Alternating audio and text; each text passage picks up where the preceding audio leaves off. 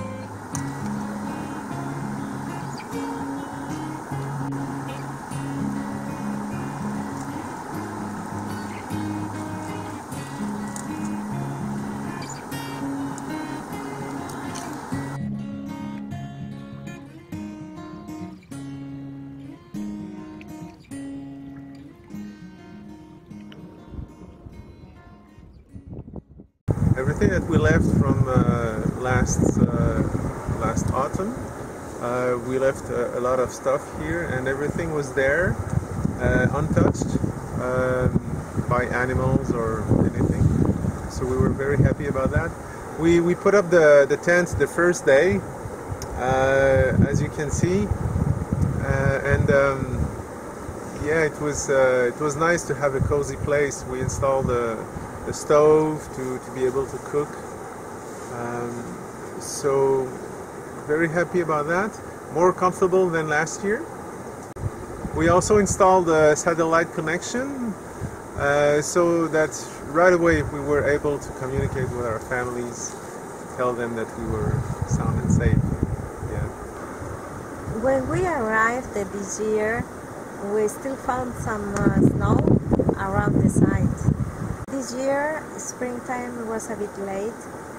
We found the ostrich ferns leaves coming out and uh, we collected them for our meals. It was so good to have some edible plants uh, to enrich our food.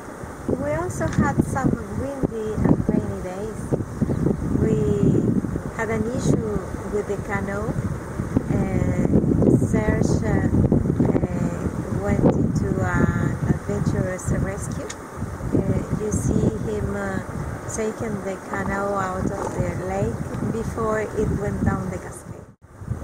Luckily, after that we had nice weather and we started exploring around again.